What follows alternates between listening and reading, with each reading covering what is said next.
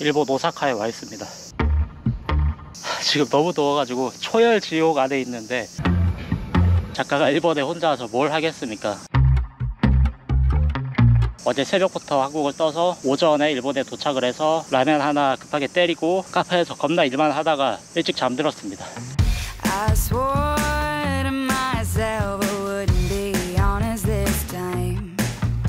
오늘은 뭐라도 하나 하고 다시 일을 하기 위해서 숙소로부터 걸어서 한 50분 거리에 있는 오사카 성에 나와 있는데 300엔을 내고 니시모마루 가든 땀 때문에 바지에 넣어둔 티켓이 다 찢어졌습니다.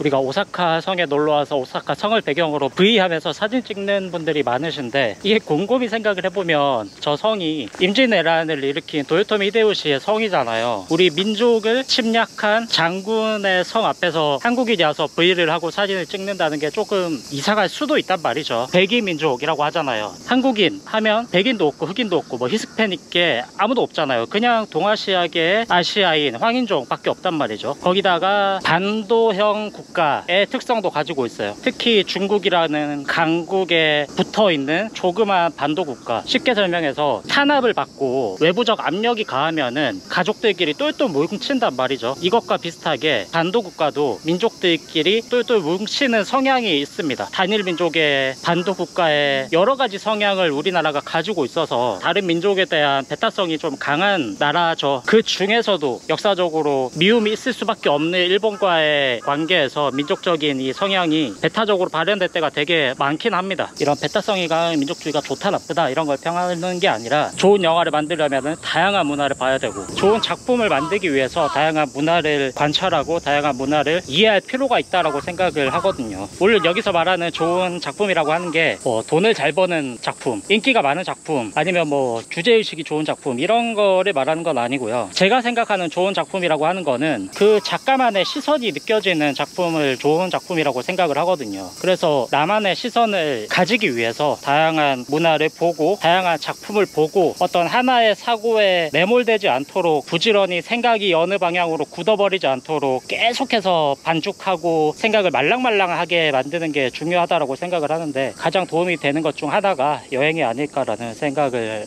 합니다.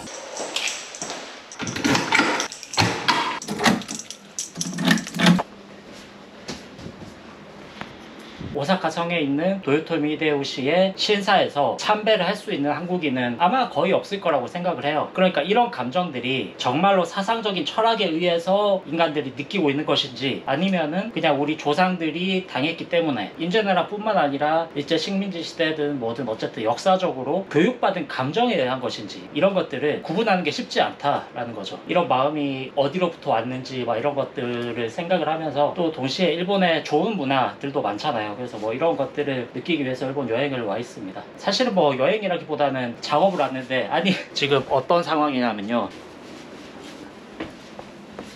지금 여기서 작업을 하고 있거든요. 아니 일본에는 무슨 스타벅스에서도 전기 콘센트 꽂는 데가 없어요. 하, 그래서 카페에서 작업을 해야 되는데 노트북 배터리로만 해야 되니까 그렇게 오래 있을 수가 없는 거죠. 그리고 그 나라의 문화를 따라야 하잖아요. 검색을 해봤더니 일본은 카페에서 노트북 켜고 작업하는 문화가 없다고 하더라고요. 우리나라도 카공족들 그런 거를 카페 사장님들이 싫어하시지만 3시간에 한 번씩 음료를 시키거나 하면은 괜찮다라고 하는 분들도 계시거든요. 어쨌든 우리나라에서는 카페에서 작업하는 사람 사람들이 많잖아요 작가들도 그렇고 근데 일본은 그게 아닌 문화라고 하는 거예요 하, 그래서 숙소에서 작업을 하고 있습니다.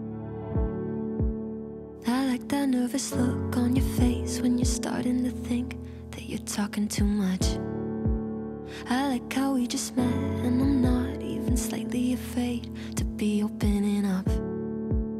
촬영의 시점으로 하루가 지나고 다음날 아침입니다. 여기 근처에 한강공원 같은 비슷한 게 있다 그래서 거기를 향해 걸어가 보고 있는데 저기가 오사카 공회당이라고 적혀 있던데 우리나라로 치면은 시민회관 이런 느낌인가 봐요. 건축 양식이 예전 일제시대 때 지어졌던 구 서울 역사와 똑같이 생겼잖아요. 그래서 이런 걸 보면서 역사를 빼놓고 뭔가를 논할 수는 없습니다만 그 예전에 분단문학 하시는 김정혜 작가님 인터뷰 영상을 올린 적이 있는데 그때 왜 작가님이 그런 말씀을 하셨어요. 2년보다는 사랑이다 라는 말씀을 하셨습니다. 그 말이 저는 되게 멋있었다라고 생각을 하거든요. 왜냐하면 저도 20대 때만 하더라도 정치 이념이 성향이 너무 강해서 저와 맞지 않는 사람들과 적을 많이 만들었었습니다. 심지어 고향 친구들, 아버지 막 이런 사람들까지 말싸움을 많이 하고 막 이랬었는데 사실 정치나 이념은 우리가 행복하기 위해서 더 잘 살기 위해서 필요한 거잖아요. 근데 큰 결에서의 행복을 논하다가 정작 중요한 주위 사람들을 다 잃고 있었던 거죠. 어떤 사상의 늪에 빠져서 사람을 잃지 말자라고 하는 게 어, 느 순간부터 제 삶의 철칙이 되었습니다. 그 현장 교육에서도 늘 노력하는 부분이기도 합니다.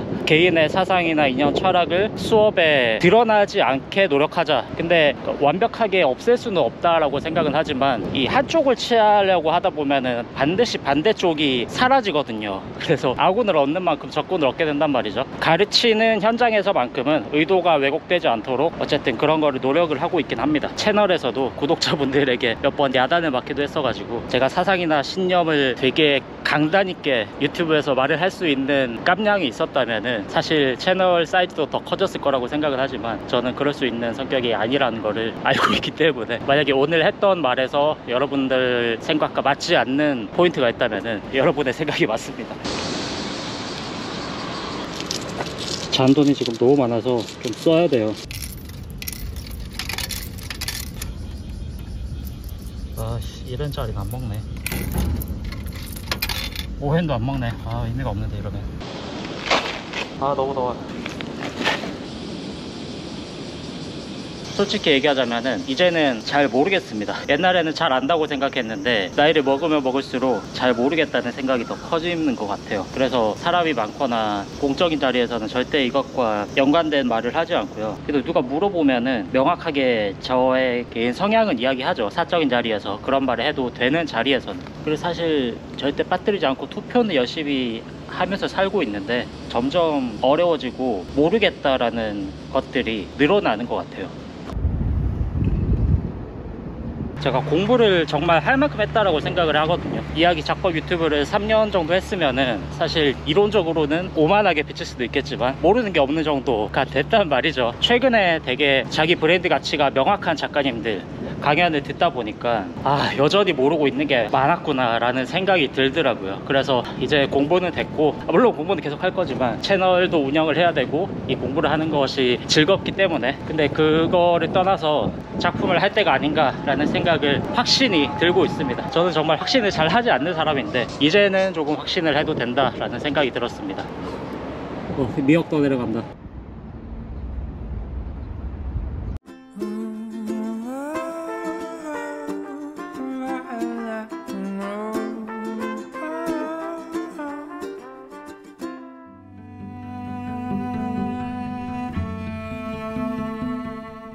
영상으로는 짧게 나갔겠지만 4일 정도 오사카에서 보내고 이제 교토로 넘어갑니다.